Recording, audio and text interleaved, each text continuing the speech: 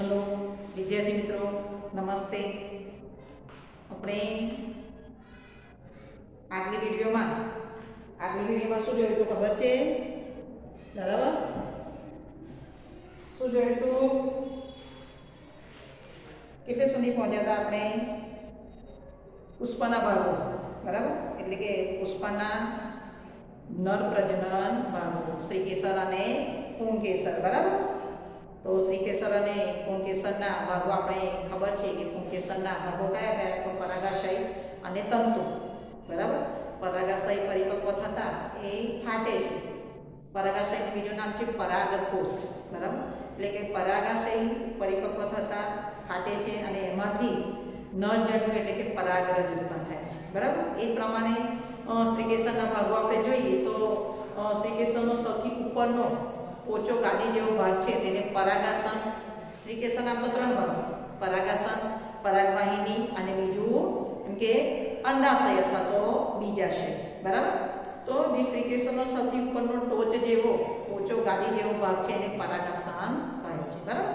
તો એ પરાગાસન સૌથી ઉપરનો પરાગાસન, પછી એની નીચે પરાગવાહિની, સૌથી નીચે ફૂલેલો પહોળો ભાગ છે. બરાબર? ફૂલેલો પહોળા ભાગ જેવી રચના છે. એને શું કહેવામાં આવે છે તો?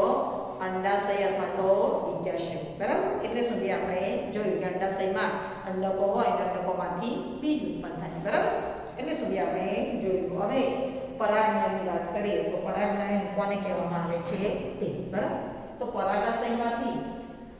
પરાગનયનની વાત કરીએ તો પરાગાશયમાંથી પરાગરજનું પરાગાસન તરફ જવાની ક્રિયાનું પરાગાસન કોણ હોય આપણને પરાગરજ કોણ પરાગ પરાગાશય કોણ હોય આપણને ખબર પડવી જોઈએ પરાગાશય કોનામાં હોય તો પુંકેસર એટલે કે પુંકેસરની પરાગરજનું સ્ત્રીકેસરના પરાગરજ તરફ જવાની ક્રિયાને પરાગનયન કહે છે બરાબર એટલે કે પરાગાશયમાંથી પરાગરજનું પરાગાસન તરફના વાહનને પરાગનયન કહે છે બરાબર પરાગનયનના તો બે પ્રકાર છે સ્વપરાગનયન અને પરપરાગનયન. તો સ્વપરાગનયન એટલે શું? કે જે સ્વપરાગનયનમાં એક જ પુષ્પની એક જ પુષ્પના પરાગાશયમાંથી પરાગરજનું તે જ પુષ્પ પર તે જ પુષ્પના પરાગાસન પર સ્થાપિત થવાની ક્રિયાને. એક જ પુષ્પના પરાગાશયમાંથી પરાગરજ તે જ પુષ્પના પરાગાસન તરફ સ્થાપિત થવાની ક્રિયાને, એટલે પરાગાશય, પરાગાસન તરફ પરાગાસન પર સ્થાપિત થવાની એક જ છોડના પુષ્પના પરાગ, પરાગાશયની પરાગરજ તે જ પુષ્પના પરાગાસન તરફ અથવા પરાગાસન પર સ્થાપિત થવાની ક્રિયાને સ્વપરાગાયન કહે છે. જો પહેલી આકૃતિમાં તમે જુઓ. પહેલી આકૃતિમાં એક જ પુષ્પ છે. તો આ એનો પરાગાશય છે. બરાબર? પરાગાશયમાંથી પરાગરજ ઉત્પન્ન થાય છે. તો એના આસ્તિકેશનના પરાગાસન તરફ સ્તન પર સ્થાપિત થાય છે, બરાબર? તો આ સ્વપરાગનયન છે, એક જ પુષ્પ છે, અને બંને સ્ત્રીકેસર અને પુંકેસર એક જ પુષ્પમાં આવેલા છે, બરાબર?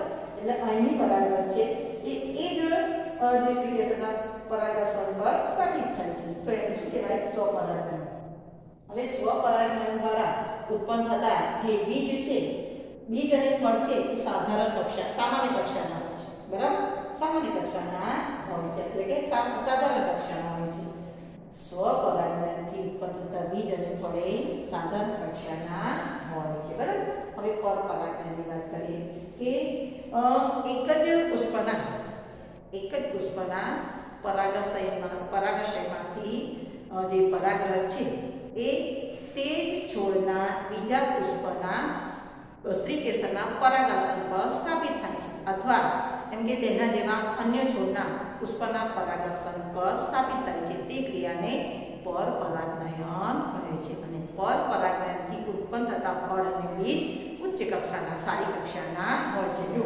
અહીં જોઈએ છે આપણે કે અહીંની જે પરાગરત છે એ આ અહીંની પરાગરત એ ક્યાં આવે છે? તો આપણે જોઈએ અહીંની પરાગરત એ ક્યાં આવે છે? અહીંની પરાગર આ પરાગાસન તરફ આવે છે, બરાબર? અહીંથી આમ જઈએ તો અહીં. એટલે કે આ બીજું પુષ્પ છે. પુષ્પ બંને અલગ છે. પર પરાગનયન છે એ બીજા પુષ્પ પર. પહેલા એક પુષ્પ પરથી બીજા પુષ્પ પર. અને જે પુષ્પના સ્ત્રી કેસરના પરાગસન પર પરાગરજનું વહન થાય છે. બરાબર? એટલે શું થાય છે પરાગ, પર પરાગનયન થાય છે. પર પરાગનયન એટલે શું? એક જ જાતિનું પુષ્પ હોય. બરાબર? એક જ છોડ હોય. એના બીજા પુષ્પ પર પરાગરજની એટલે કે પરાગાશયની પરાગરજનું વહન થવું. તો એ પર પરાગનયન કહે છે તો પર પરાગનયનથી ઉત્પન્ન થતા બીજ કે સારી કક્ષાના હોય છે, બરાબર? એટલે અહીં જોઈએ કે આ, અહીં સ્વપરાગનયન થાય છે. આ પરાગશયમાંથી પરાગરજ તે જ છોડના પુષ્પના પરાગાસન પર બેસે છે. જ્યારે બીજી પર પરાગનયનમાં તો શું થાય છે કે આ આ પુષ્પ અને આ પુષ્પ બંને અલગ છે. છોડ એક જ છે. અથવા બીજો છોડ પણ, એક જાતિનો બીજો છોડ પણ હોઈ શકે, બરાબર? એટલે આ પુષ્પ બંને અલગ છે એથી પરાગરજ બીજા છોડના પુષ્પના પરાગાસન પર સ્થાપિત થાય છે. તો શું કહેવાય? પર પરાગનયન કહે છે. બરાબર? એટલે કે પર પરાગનયનથી ઉત્પન્ન થતા બીજ સારી કક્ષાના હોય છે અને એના ઉત્પન્ન થતા બીજ અને ફળ. પર પરાગનયનથી ઉત્પન્ન થતા બીજ અને ફળ એ કેવા હોય છે? સારી કક્ષાના હોય છે. બરાબર? તો આપણે અહીં સ્વપરાગનયન અને પર પરાગનયન જોયું. હવે આપણે જોઈએ છીએ કે ફલન, ફલનની વાત કરીએ તો ફલન એટલે શું? તો ફલન એટલે કે નરજન્યુ અને માદાજન્યુના સંયુગ્મન બરાબર? એટલે કે જોડાણ નરજન્યુ અને માદાજન્યુના જોડાણને ફલન કહે છે. અને કે નરજન્યુ અને માદાજન્યુના જોડાણથી બનતી નવી રચનાને ફલિતાંડ કહે છે. બરાબર? જાયગોટ તો એમ કે નરજન્યુ અને માદાજન્યુના જોડાણથી બનતી નવી નવા કોષને ફલિતાન એટલે કે જાયગોટ કહે છે. અને જે ફલિતાન છે એ છેવટે શેમાં પરિણમે છે? ભ્રૂણમાં પરિણમે છે. તો ફલન એટલે શું? ફલનની આપણે ક્રિયા સમજીએ ફલનની ક્રિયા સમજીએ એટલે આપણે જોઈએ કે જ્યારે જે પરાગાશયમાંથી પરાગનની ક્રિયા દ્વારા પરાગાશયમાંથી જે પરાગરજ આવે છે, એ પરાગરજ એ પુષ્પના, સ્ત્રી કેસરના પરાગાશન પર સ્થાપિત થાય છે. બરાબર? પરાગનની ક્રિયા દ્વારા જે કેસરની પરાગરજ એ સ્ત્રી કેસરના પરાગાસન પર સ્થાપિત થાય છે. હવે પરાગાસન પર કે ચીકણો સ્ત્રાવ હોય છે. એ ચીકણો સ્ત્રાવમાં પરાગ પરાગરજ ભીની થાય છે, પલળે છે અને એમાંથી અંકુર નીકળે છે. એટલે કે જે અંકુર નીકળે છે જેને પરાગનલિકા કહે છે. આ પરાગનલિકા પરાગવાહિની મારફતે નીચે ઉતરે છે અને નીચે ઉતરે છે અને અંડાશયમાં દાખલ થાય છે. એટલે કે બીજાશયમાં દાખલ થાય છે. અને ત્યાં બીજાશયમાં દાખલ થઈ અને અંડકમાં પ્રવેશે છે. બરાબર? હવે અંડકમાં કોણ રહેલું હોય છે? તો અંડકમાં માદાજન્યુ રહેલા છે. એટલે કે આ જે પરાગ પરાગનલિકા છે એ ખરેખર તો નરજન્યુ છે. એટલે કે આ પરાગનલિકા અંડકમાંના માદાજન્યુ સાથે જોડાય છે, જેને ફલન કહે છે. અને ફલનની ક્રિયાને અંતે, એમ કે ફલિતાંડ બને છે. ફલનની ક્રિયાને અંતે જે બીજાશય હોય છે અંડાશય હોય છે, ફળમાં પરિણમે છે અને અંડકો એ બીજમાં પરિણમે છે, બરાબર?